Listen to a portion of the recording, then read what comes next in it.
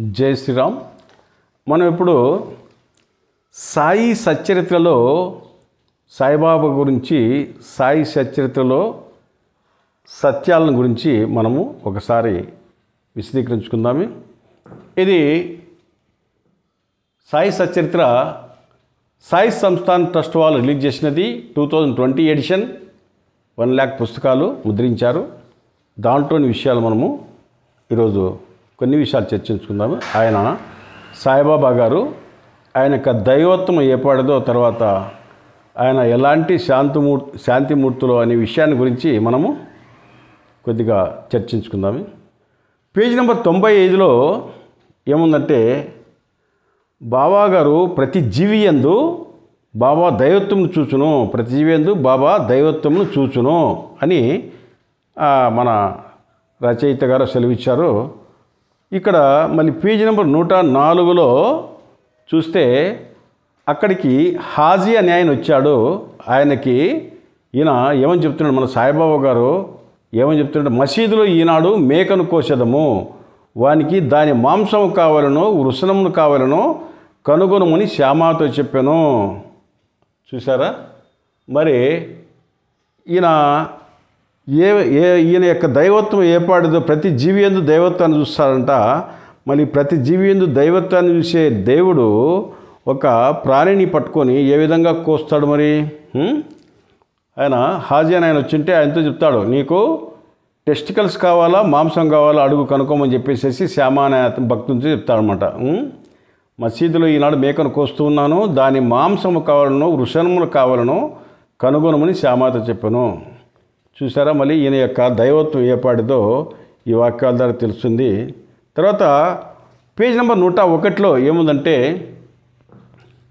బాబా శాంతమూర్తులు నిశ్చలులు వారు క్షమాశీలురు క్రోధరహితులు రుజువర్తనులు నిత్య సంతుష్టులు అని సెలవిచ్చారు. కాబట్టి మన ఆయన భావ శాంతిమూర్తులు అంటే ఆయనకి కోపమే రాదు. నిశ్చలులు దేనికి చలించడు? క్షమాశీలురు క్షమాగుణానికి పెట్టింది పేరు. క్రోధరహితులు అంటే ఆయనకి కోపం అనేది ఉండదు. కోపం రాదు అతనికి. క్రోధరహితులు.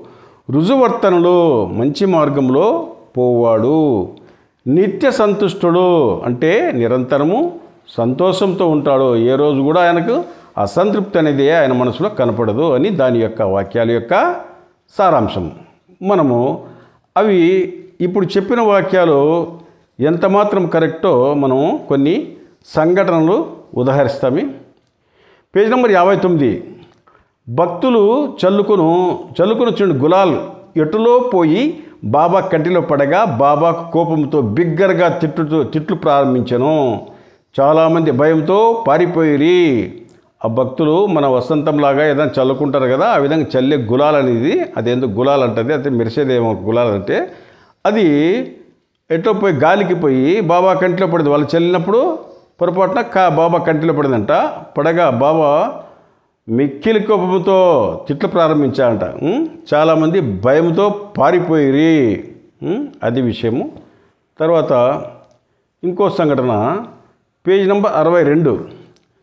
మసీదు చిన్నదైనందున సౌకర్యం కొరకు ముందు భాగము కాకాసాహెబ్ దీక్షిత్ విశాలపరిచి పైకప్పు వేయదలచెను.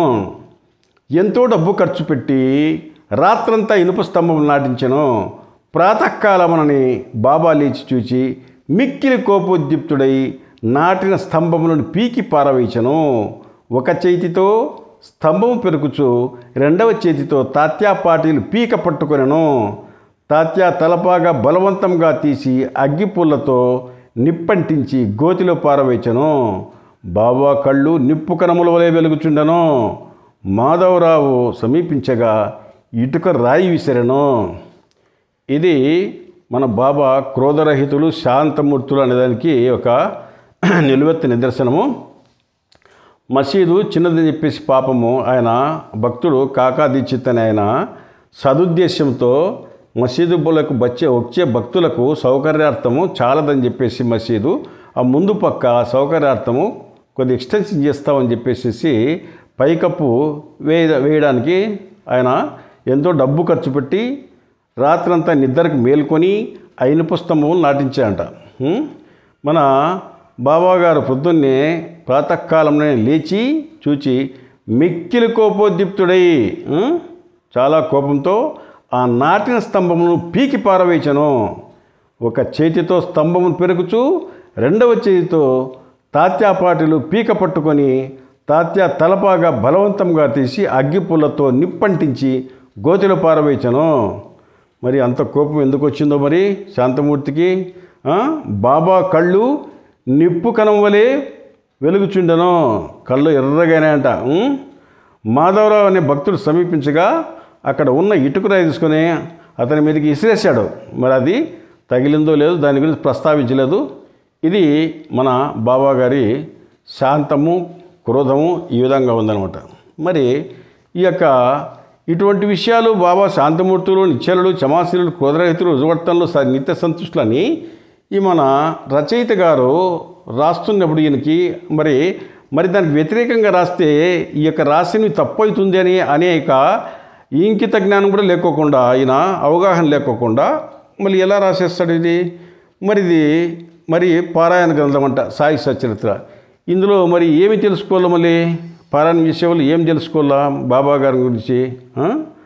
ఇంకోటి పేజీ నెంబర్ నూట మూడులో ఏం చెప్తాడంటే ఒక్కొక్కప్పుడు పూజా ద్రవ్యాల పల్లెమును విసరివేయిచు ఉగ్రరూపం దాల్చేవారు. అట్టి సమయంలో బాబాను సమీపించుటకు ఎవ్వరికి నీ ధైర్యం చాలది కాదు. ఒక్కొక్కప్పుడు భక్తులను తిట్టుచుండెను వాళ్ళు పాపం పూజ చేయడానికి అక్కడికి ఆ పల్లెంలో అన్నీ పెట్టుకొని తీసుకొని వస్తే ఈయన ఆయనకి అది చూసి మిక్కిలి కోపంతో మరి ఈయన అన్ని మతాలు సమానము అని అంటాడు. ఆ పూజా ద్రవ్యాలు చూస్తానే ఆయనకి విపరీతమైన కోపం వచ్చేసిందనమాట. కోపం వచ్చేసి అవి తీసి విసిరిపడేస్తాడంట. మరి ఆయన ఎంత శాంతం శాంతమూర్తో చూడండి. అవేం చేసినాయి పాపం? మరి ఆ వాళ్ళ భక్తుల యొక్క చేతుల నుండి తీసేసి విసిరిపడేస్తాడంట. మరి అది ఈయన కోపానికి తార్కారమా తర్వాత క్రోధానికి తార్- తార్కారమా రుజువర్తనకి తార్కారమా ఇది ఇది వీళ్ళు ఆలోచించుకోవాలి సాయి భక్తులు. తర్వాత మూడు వందల ఇరవై ఎనిమిది పేజీలో ఇంకో సంఘటన. ఆయన అక్కడ ఒక ఆయన ఆ, సాయిబాబా గారు నా గుడ్ నా గుడ్డ పీలికలను నాకు తెలియకుండా దొంగిలించితివేలా అని చెప్పేసి ఒక భక్తుని అడుగుతాడనమాట ఆయన తన గుడ్డ పీలికల గురించి ఏమీ చేయలేదని దేవు అనే ఆయన దేవు అనే భక్తుడు భక్తుని అడుగుతాడు నా గుడ్డ పీలికలు ఎక్కడున్నాయని అడిగే సాయిబాబా గారు అడిగితే దేవు తనకు ఆ గుడ్డ పీలికల గురించి ఏమీ తెలియదనను బాబా అతన్ని వెతుకుమనను అతడు వెదికాను. కానీ అచ్చట ఏమీను దొరకలేదు. బాబా మిక్కిలు కొమ్ముతో ఇట్లనో ఇక్కడ ఇంకెవరు లేరు నీ ఒక్కడవే దొంగవు. ముసలితనంచే వెంట్రుకలు పడినప్పటికీ ఇచ్చటి దొంగిలించుట వచ్చితివా? అని కోపగించి బాబా మతి చెడిన వాని వల్ల తిట్టి కోపగించి చివాట్లు పెట్టి చివాట్లు పెట్టినానంట తర్వాత దేవు అనే నిశ్శబ్దంగా కూర్చొని ఉన్నాడంట ప్రశాంతంగా. అతనికున్న అతనికి ఉన్న ప్రశాంతత కూడా మన దేవుడిగా భావించే మన బాబా గారికి లేదనమాట ఆయన బాబా మతి చెడిన వాని వలె ఇది రచ- రచయిత రాశాడు బాబా మత చెడిన మతి చెడిన వాళ్ళని తిట్టి కోపగించి చివాట్లు పెట్టాడంట మరి బాబానే మతి చెడిన వాని వలె అంటున్నాడంటే మరి ఇంక మీరు అర్థం చేసుకోవాలి ఆయన ఎంత ప్రశాంత మూర్తో అని అర్థమవుతుంది. ఇంకోటి ఇంకో సంఘటన పేజీ నెంబర్ మూడు వందల ముప్పై రెండులో ఇది పంతొమ్మిది వందల పదహారు డేట్ కూడా రాశాడు విజయదశమి సాయంకాలమున. బాబా హఠాత్తుగా కోపోద్రిప్తులైరి. బాబా తన తలగుడ్డ తర్వాత కఫిని తర్వాత లంగోటి తీసి వారిని చించి ముందున్న దునిలో విసిరివేయించను అక్కడ దిగంబరులై నిలిచి ఎర్రగా మండుచున్న కండ్లతో బిగ్గరగా అరుచుచు నేను హిందువునో మహమ్మదీయుడునో చెప్పండి. ప్రతివాడును గడగడ వణికిరి దగ్గరికి ఎవరును సాహసించారైరి రాత్రి పదకొండు గంటల వరకు శాంతించలేదు. చూసారా ఈయన యొక్క శాంతమూర్తుల యొక్క శాంతం ఏపాటిదో ఈ వాక్యాలు చూస్తే మనకు తెలుస్తుంది. విజయదశమి రోజు సాయంకాలము హఠాత్తుగా ఉన్నట్లుండి ఎందుకు కోపగిస్తాడేమో ఉన్నట్లుండి కోపోద్రిప్తులేరంట హఠాత్తుగా బాబా తన తలకాయకుండా గుడ్డ కఫిని లంగోటి మొత్తము ఆ కఫిని అంటే అది పైనుంచి కిందకి నైటిలాగా ఉంటుంది. అది ఆ లంగోటి మొత్తం తీసేసాడంట తీసేసి ఆ దినులో విసిరివేచను అక్కడ దిగంబరులై శరీరం మీద ఒక గుడ్డ పీలకు లేదా. దిగంబరులై నిలిచి జర్రగా మండుచున్న కళ్ళతో బిగ్గరగా అరుచుచు నేను హిందువునో మహమ్మదీయుడునో చెప్పండి. మరి హిందువునో మహమ్మదీని చెప్పడానికి గుడ్డలని తీసేశారంటే ఆయన మర్మాంగాన్ని వాళ్ళకి చూపిస్తున్నాడు. చూడండి నాకు శుద్ధి చేశారా లేదా అన్నట్లు చూపిస్తున్నాడు. అది ఆ విషయం చెప్పలేదు. మరి దిగంబర్లైని చూ నేను హిందువును ముస్లింను చెప్పండి అంటే దాని మీనింగ్ అదే కదా మరి?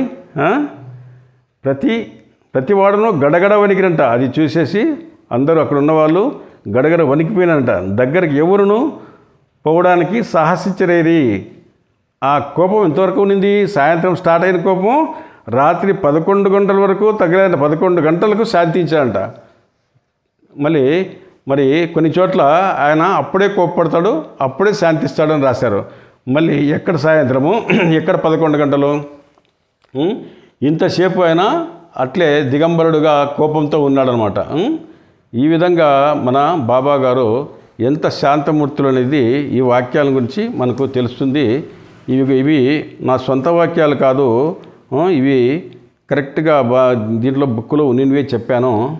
అదనమాట.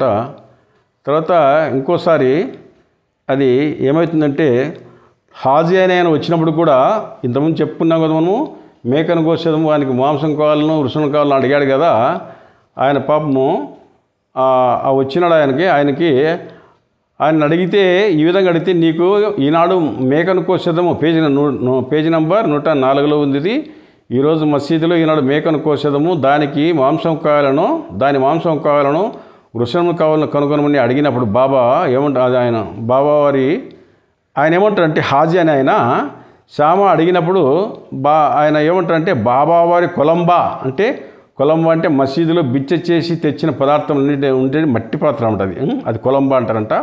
ఆ కొలంబాలో చిన్న చిన్న ముక్కతోనైనా సంతృష్టి చెందినని శ్యామ ద్వారా హాజీ బదులిచ్చాను ఆయన ఎంత అనుకుతో ఆయన భక్తిభావం చూడండి ఆ బాబావారి మట్టి పాత్రలో ఏది ఇచ్చినా కూడా దాంతోనే ప్రసాదంగా స్వీకరించినాను దాంతో సంతృప్తి చెందుతాను అని చెప్పాడు. ఆయన భక్తుడు ఆ హాజీ అయిన భక్తుడు దాంట్లో చెప్పిన దాంట్లో పెద్ద తప్పేం లేదు. పాపం చాలా వినయంగా చెప్పాడు. ఇది వినగానే బాబా మిక్కిలి కోపంతో మసీదులోని కొలంబా నీటి కుండలను బయటికి విసిరివేయించరి. అది ఆ కొలంబాని విసిరేసాడంట పగిలిపోయేది అట్లా విసిరేసి తిన్నగా చావిడిలో ఉన్న హాజీ వద్దకు పోయి తన కఫినిని పైకెత్తి అంటే అది ఒక పైనుంచి కిందాక వేసుకున్నాడు కదా నైట్ అనేది అది అది ఆ కఫిని పైకెత్తి తీవ్ర స్వరంతో నన్ను గురించి ఏమనుకునిచ్చావు నీవేదో గొప్పవాడివని పెద్ద హాజీవని గొప్పలు పోచు ఏమేమిటో వదులుచున్నావు? నా దగ్గర నీ ఆటలు సాగవు. కురాన్ చదివి నీవు తెలుసుకునేది ఇదేనా మక్కా మదీన యాత్రలు చేసినవే చే- చేసి నీ గర్వంతో నేనెవరో తెలుసుకొని లేకున్నావు? అని అతని మీద దండెత్తాడు. కానీ అందులో ఆయన మాట్లాడిన మాటల్లో తప్పేముంది?